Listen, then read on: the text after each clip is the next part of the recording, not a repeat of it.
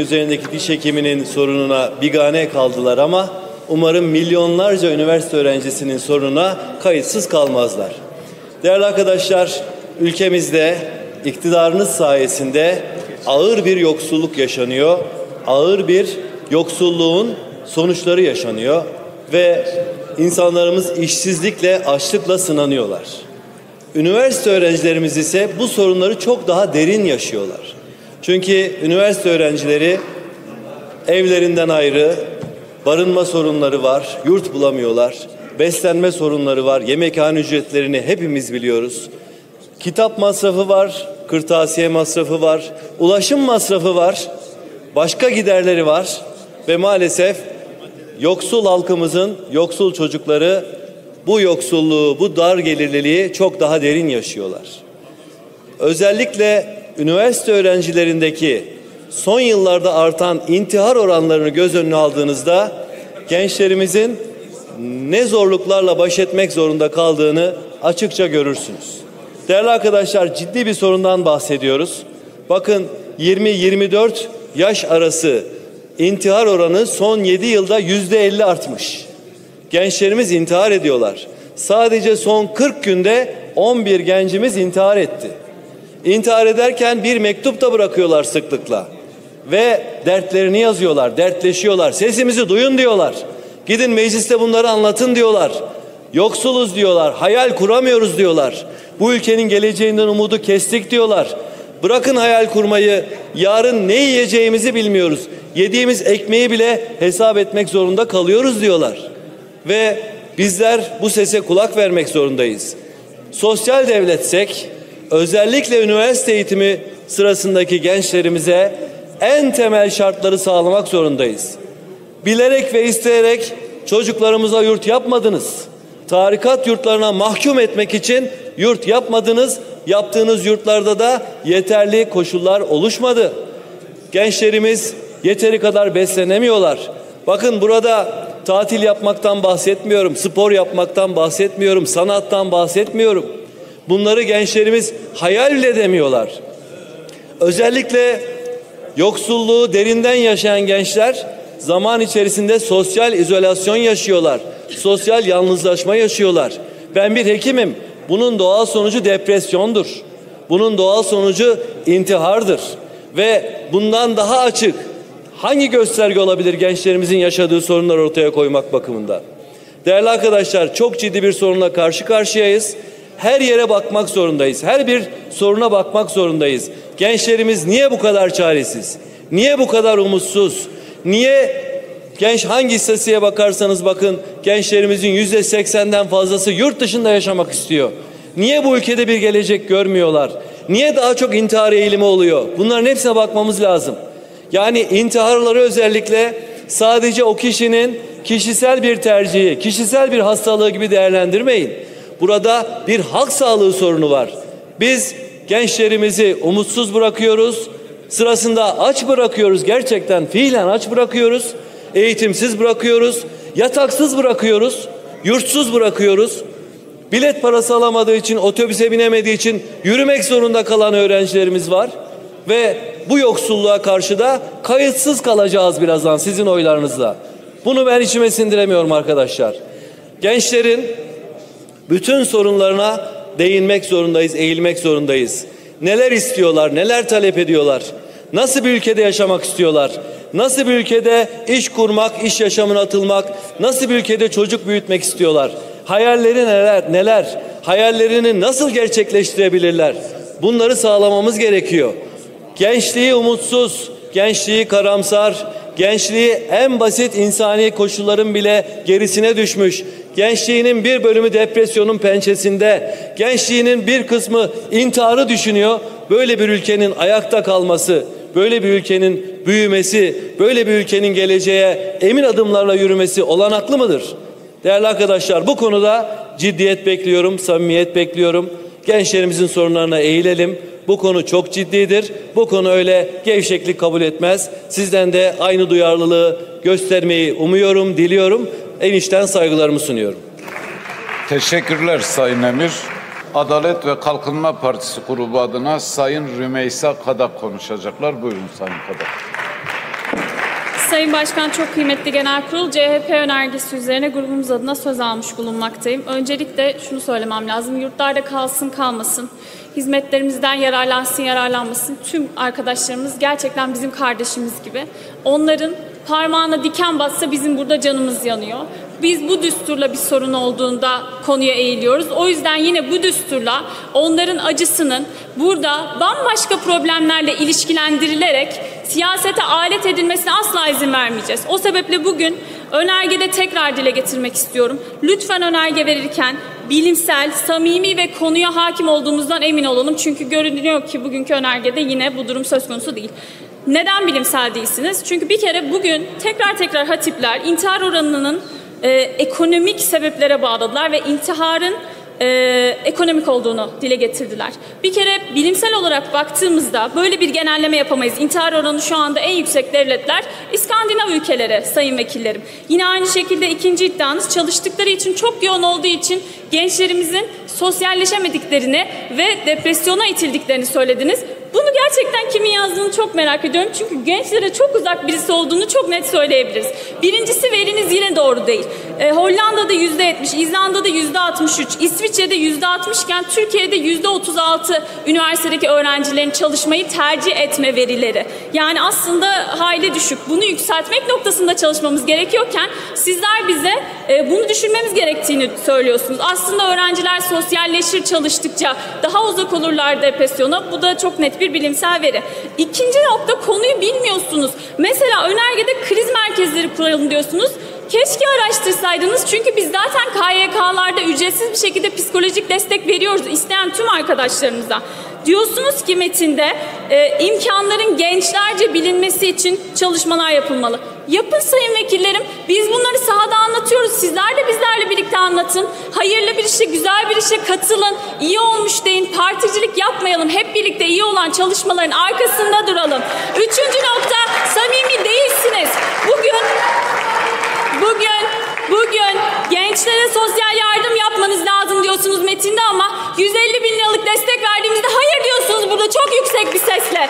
Aynı şekilde biz belediyelerimizde burs veriyoruz. Sizler değil miydiniz Anayasa Mahkemesi'ne taşıyıp bunu iptal ettiren? Şu anda nasıl bunu yapmamış gibi düşün söylüyorsunuz. Bir de çok ilginç bir nokta şu.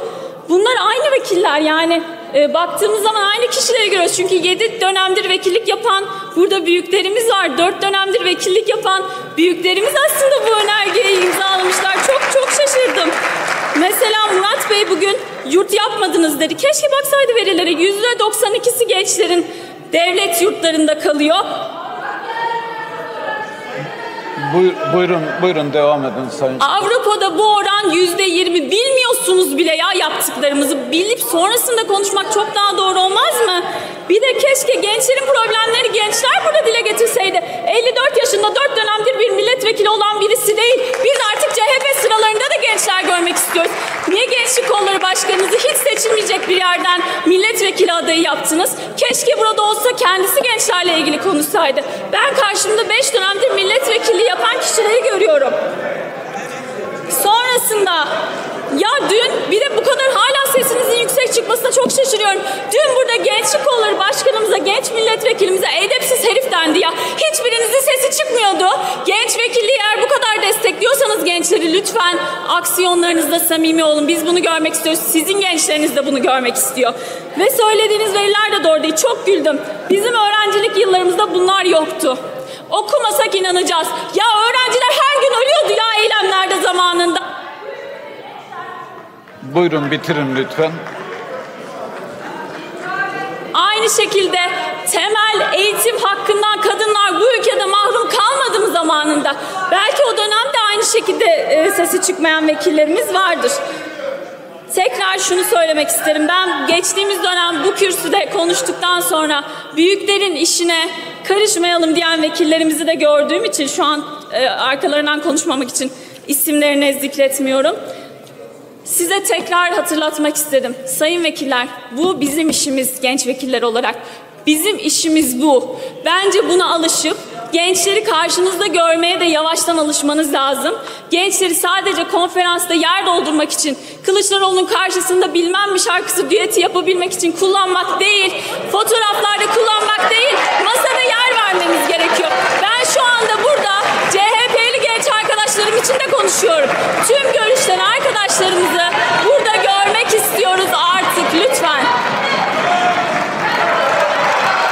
Teşekkürler Sayın Kadak.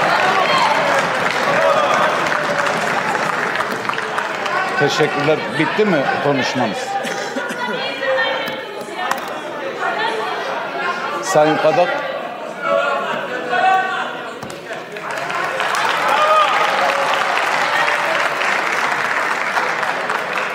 Teşekkürler Sayın Kadak. Buyurun Sayın May. Evet, teşekkür ederim.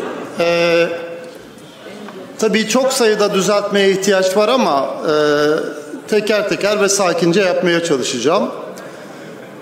İstanbul Büyükşehir Belediyesi şu anda her yıl 65 bin öğrenciye burs veriyor ve arkadaşlarımız öğrencilere burs verdikleri için yargılanıyorlar. Peki bizden evvel burs verdi mi İstanbul Büyükşehir Belediyesi? Verdi. Şu anda bu sıralarda oturan milletvekillerinden bazılarına 150 bin sterlin, 200 bin euro vererek yurt dışına gönderdi. Biz seçilmişlere, AKP'li vekillere değil, milletin çocuklarına ayırmaksızın burs veriyoruz. Biz ayrıca yurt açıyoruz. Yurt açtığımız için de ayrıca yargılanıyoruz. Bu konuları böyle çarpıtarak değil de gerçekleriyle aktarmaya ihtiyaç var. Bir de her lafı Kılıçdaroğlu'na get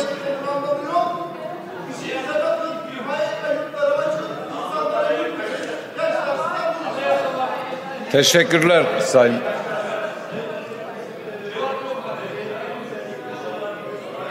yazmakla suçladı, şahsıma sataştı. Söz. Buyurun.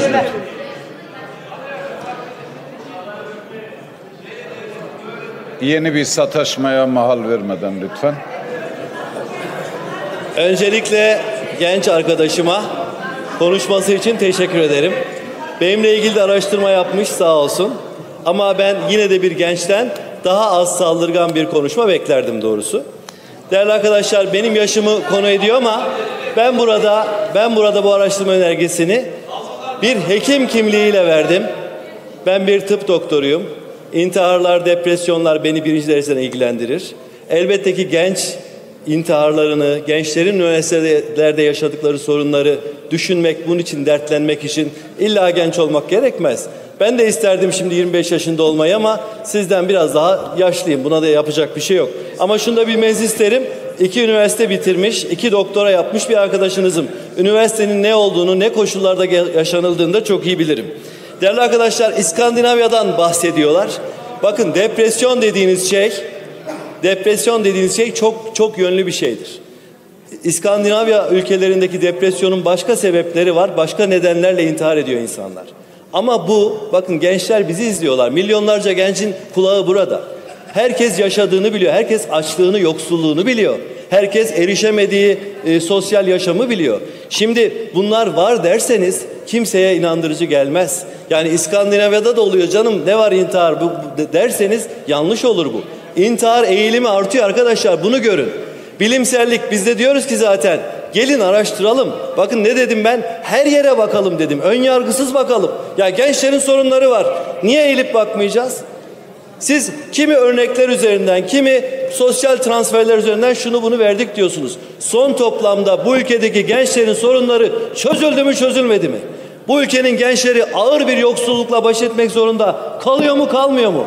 Bu ülkenin gençleri günde üç öğün yemek yiyebiliyor mu yiyemiyor mu? Bunu konuşalım arkadaşlar. Teşekkürler. Buyurun Sayın Beştaş.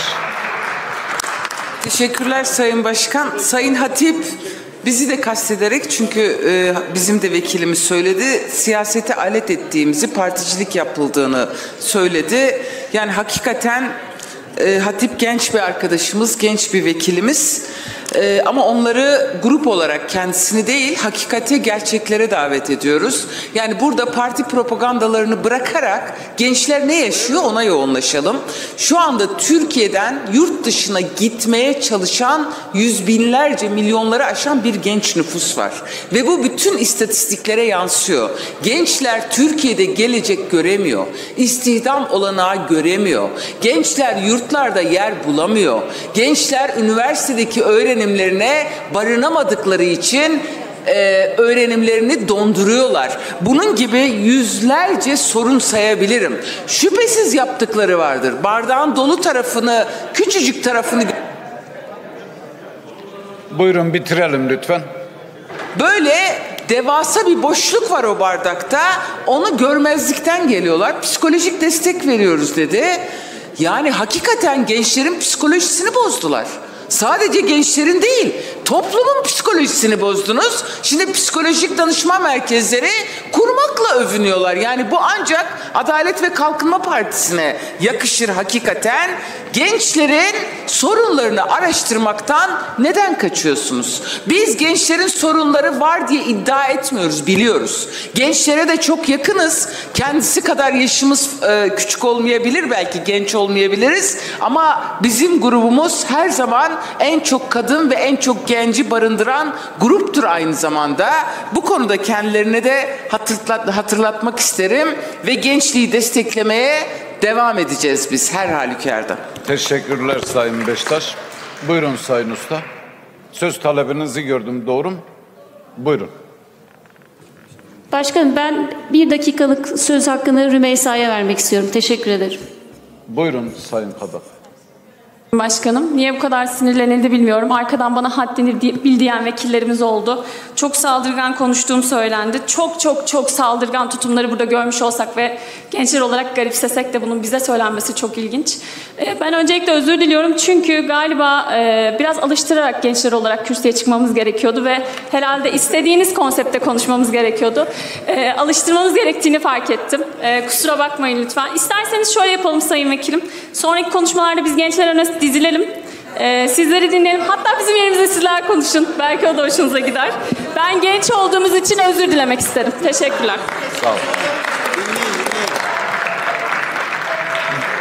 Cumhuriyet Halk Partisi grubunun iş tüzüğün 19. maddesine göre verilmiş önerisini sayın vekiller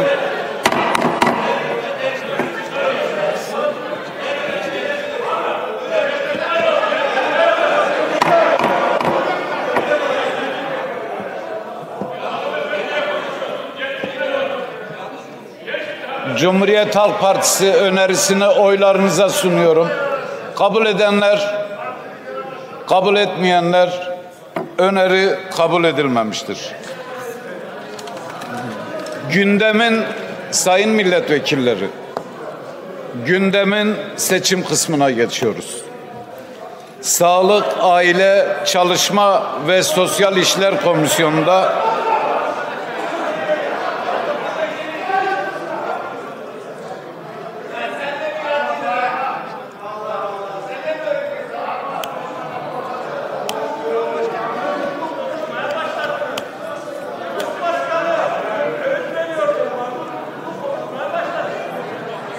kim diyor?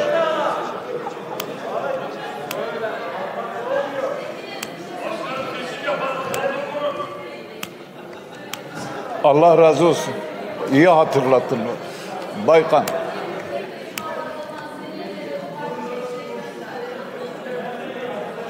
Arkadaşlar oylama yapmazsam oturuma ara vereceğim. Lütfen.